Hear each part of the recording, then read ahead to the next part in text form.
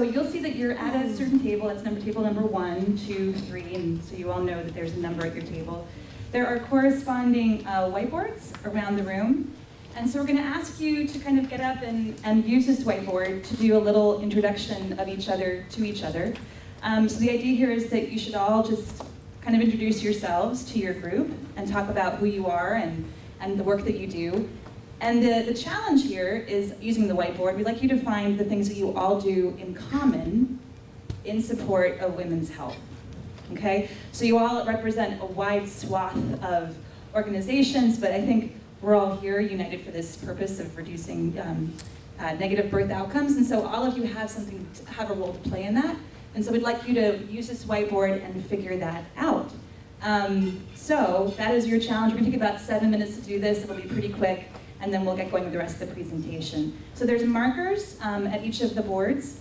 And so I would encourage you to, you know, find someone to write it down, and then we'd also like to have someone report back. So think about who's going to do the report back as well.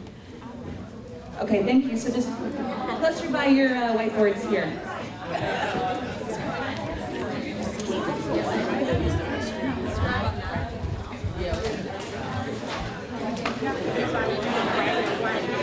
Cynthia, um, and we had common. Um, our professions, of course, lead us all to care and healthcare, but uh, the, the big thing that came out that we feel we all had in common and can really speak from a common ground is care coordination of women and children. Incredibly important. Thank you very much, Group 1. Group 2, can you all speak to the things that you all have in common in support of women's health? I don't think we, we really finished our conversation, but Jean pointed out that we are all women taking care of women. So. Excellent. Thank you. Thank you. Group number three. You all were busy over there, right? That was your whiteboard. So we could talk to you about the things you found in common. Uh, we also didn't totally finish our discussion. We were still talking and meeting everyone, but one of the things that we seem to all have a lot in common with is we have different agencies from providers to insurance companies at our tables, but all of us kind of felt like we all provide case management in some way, shape, or form to women. Excellent. Excellent. And we're going to be keeping track of this too. This is going to play into future sessions. Um, group five, who would like to speak about? Uh, group five, when we all started discussing what we do, we basically all do the care. We, the only thing that's not at our table is someone who does like OB uh, GYN services, but we, we do case management, we have birthing classes, we do adolescents, which covers peds, the kids and the mom. We do family planning, uh, you know, where people had experience with family planning, uh, HIV AIDS services. So we're kind of doing that already. So we just need somebody over here who's an OBGYN. You have inter-pregnancy care. That's it. Table five. Table six. Who would like to speak? Okay. Hi, for table six, we found that we had in common was the reproductive life plan services, as well as we provide um, services to teenagers, as well as behavioral health screenings, referrals, as well as um, treatment, STT screenings, um, and treatment and evaluation. So we had a lot in common. Wow, great. There was some planned seating too, just so you all know. um, table four, I'm so sorry, I didn't count properly. So who would like to report back for table four? Or, sure. Um, we are, uh, for the most part, a lot of, most of us are doing service coordination, same thing that we've just been saying. Education um, came up and um, referral services as well. Excellent. Thank you. All right, table six we did, and table seven, over here. Um, we looked at what we had in common and some things that came up was the idea of like we're all working on behavioral health topics and how that really could link to social health. Um, we're a lot driven by data and so the data is really something that unifies us. Um, we have an LPHI funder and then we just talked about how WIC really could be a point of touch, a point of contact, a referral to linking a lot of um, all these services and our mothers. And so the idea of coordinating the services or just how gluing all these services could be um, how we really, I guess, link each other. We all interested in connecting and helping our moms, and then just in general, they give passion. We're all passionate about the work we're doing right now. Oh yeah, and also we have some MDs who are interested in linking policy and prevention. So that's um, another commonality. Thank you very much. I think the concept of glue and how to link all these things together will be coming up for us. Um, table number nine, who would like to speak? This is me. Yeah. Okay, basically, a lot of what we heard in the room already, but we're looking at a continuum of uh, network of services at this table already. And primary care, the whole continuum of, of women's health from prevention to intervention, prevention, QI programs, care coordination, outreach, maternal health, multi-levels. We're looking at state, we're looking at um, state entities, nonprofits, um, some representation from LPHI. I think so much of what we have here is primed for this project that we're talking about right now. So I think we have the networks, we have the referral systems. I think we're pretty much primed with that and looking forward to moving forward with this process. Thank you. Thanks very much. Very strong. Um, and so this table here, did I already do table eight? But this is table eight. Okay, we're all over the map here. Who would like to speak um, from table eight? Oh, come on. Come on. All right, um, we, uh, realized that we had in common because we were chatting, chatting, chatting. Evaluation, adolescent health, policy, innovation, high, working with high-risk populations, reproductive health, and manualization. Manual, and collaboration. Great, thank you so much for participating in that. And I think, as Carla was saying, you all, we have an incredible amount of skill sets in the room that we're going to be using a lot in the fu- into today and then in future sessions. So I'm going to turn it back over to Carla. Great, so I just want to um, move on to our, our next thing, which is that Michelle Alletto is here. We're really honored to have her here. She's from the Louisiana Department of Health and Hospitals, and she is the director of the Louisiana Birth, sorry, Deputy Director of the Louisiana Birth Outcomes Project, and she's going to speak to us today about what's going on in Louisiana and New Orleans um, and give us some, some statistics. Great, good morning. I am actually the deputy director, um, which I'm still is still a job um, that is an honor for me. Uh, but the director of the Birth Outcomes Initiative for the state of Louisiana is Dr. Rebecca Gee, and she's um, in the back. Wave to everybody. Um, and so, what I uh, was asked to come and talk to you about today was the problem um, which I think, I, I, mean, I've been living and, breathing this for a few years now. Some of you in the room have been breathing it, living and breathing it for a lifetime. Um, so I think for some of you, this is um, old news and you could probably school me on what the problem is. And for some of you, um, this is going to be maybe new information or information that's put in possibly a different frame, um, which is, I think, one of the reasons we're all here today. So our birth outcomes uh, for the state of Louisiana, it's no surprise, are not good. Um, we've known this for a long time, but the unfortunate news is that they're not really getting any better. You know, as one of um, the presenters said this morning, the national rates in infant mortality, some national indicators are improving, um, but in the state of Louisiana, we still are stuck pretty close to the bottom um, in things like preterm birth, low birth weight, and infant mortality. Um, and what I did here, because I know that you all in this room today are primarily concerned uh, with Orleans Parish, um, I wanted you to see uh, where Orleans stacks up against the state rankings um, and rates for these really important indicators. And one thing that was discussed already, but what I learned and what was news to me is that I think infant mortality is often discussed as a sentinel measure for um, society's health. And when we really dig into improving birth outcomes, we find that there are a lot of causes for infant mortality that we can't necessarily um, intervene on as easily as we can uh, for preterm and low birth weight. And of course, so many babies that, are, that die were born low birth weight. Um, but what we really look at um, and have looked at in the state initiative is improving preterm birth and low birth weight. So one of the um, really important uh, indicators for uh, interconception health and for birth outcomes is um, sexually transmitted infection. And um, we can see here that we are pretty, um, uh, I was going to use a word I didn't want to use. Uh, we're not doing well with uh, sexually transmitted infection um, in Orleans Parish in particular. This is an area where um, maybe on some birth outcomes or some other measures, uh, statewide, Orleans isn't in the bottom, but for sexually transmitted infection, Orleans Parish um, really is not doing great, in chlamydia and gonorrhea particularly. Um, so this is from our pregnancy risk assessment monitoring survey that we do out of the Bureau of Family Health. Um, and this is really, um, while it's not able to be broken down by parish, um, it really is an important survey for um, talking to women directly and, and asking them about their um, pregnancy experience um, and their interconception preconception experiences.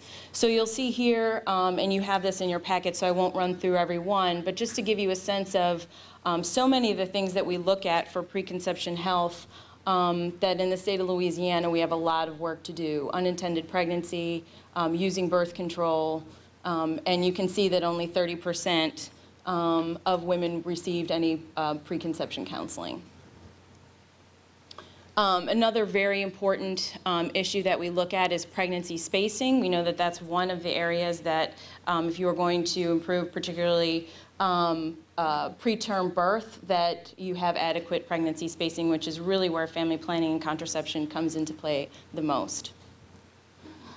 Um, and as was said this morning, um, opportunity for impact, one of the things um, that really uh, helped get uh, the state of Louisiana leadership on board very early on, if the moral imperative didn't catch them, was the financial imperative that we in the state, all of us in the room, um, are really paying for poor outcomes. And so if this was a business, um, we would be out of business.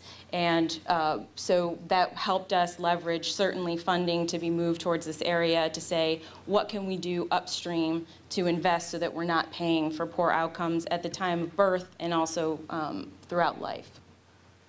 So the framework that we really, um, I think you'll hear more and more about this today, that the approach that we took very early on was the life course approach. And that is, if you really want to impact birth outcomes, you need to impact um, the health of families, particularly the health of women, before they give birth. Um, and before they get pregnant, uh, before they even think of getting pregnant. Um, and so Dr. Lu really um, is the uh, leader on this uh, theory. Now he is the head of the Health Resources and Services Administration and is helping really um, HRSA programs and other federal programs to get on board with this notion. Um, and really it's about prevention and education. So the interventions that we tried um, for birth outcomes were, um, some of these things are already being done on this continuum of interventions to improve birth outcomes um, at various, you know, at various levels of investment um, and expertise across our state. We have very strong home visitation programs. Um, we had a lot to do. Oh, I forgot. No, I put the right circle. We did, um, we wanted to look across the state at our um, smoking cessation and behavioral health screening and intervention for women, um, focusing on um, perinatal care, prenatal care in hospitals, um, and labor and delivery, and looking at quality improvement in that area and also, which is the reason we're all here today, looking at care coordination, case management, um, and interconception care, particularly at women at high risk. But if you live in the state of Louisiana, especially if you're a woman of color, you are at high risk. So the unfortunate story there is that um, disparities and just living in Louisiana, as you could see from the first slides, puts you at most likely risk. So this was something that we didn't have to look um, very hard to find our target at-risk population, particularly when 70% of our births are paid for by Medicaid. We know we're dealing with um, an underinsured population who um, probably isn't seeking medical care regularly um, and probably is living in poverty, has a lot of um, the social determinants of health um, not working on their side. So what we did um, in July 2012 was get a waiver uh, that was incorporated, which I know many of you are familiar with, into the 1115 um, GNOCHC demonstration waiver to do interpregnancy care for women at high risk.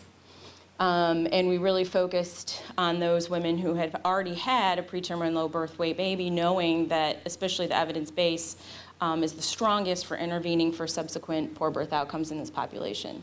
So um, this was the four-county um, interpregnancy care waiver, um, definitely modeled after um, Grady Memorial Hospital program, and Healthy Start case management um, is where we um, focus to um, provide case management, interconception health, reproductive life planning for women in the program. And um, as of now, we have 47 women enrolled in the program through Healthy Start and through Medicaid.